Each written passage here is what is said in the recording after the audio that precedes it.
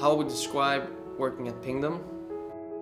Now you quickly realize that Pingdom is a company filled with people who really believe they can make a difference.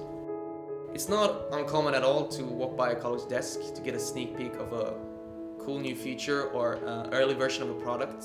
It's one of those sudden moments where you're like, whoa man, you, you built that? Our creative sessions tend to get really wild sometimes, and that's because our motto is that no idea is a bad idea. I remember this one time when we sat down for a creative meeting after lunch. It was like nothing that I experienced before.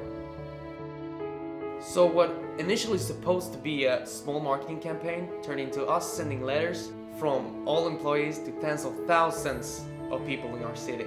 We added an online campaign, uh, prints on buses, ads in newspaper, and, and, literally trying to paint the whole uh, city uh, yellow. And it, it, was nuts. Uh, and at Pingdom, uh, those possibilities to do these sort of things far exceed anywhere else I know. This is a company intent to change the internet. It's where geeks are cool and hacking is fun. We are geeky and we are ambitious and we want to make a difference. We want to try out new hacks and change the internet for the better. I was born to hack. I was born to hack.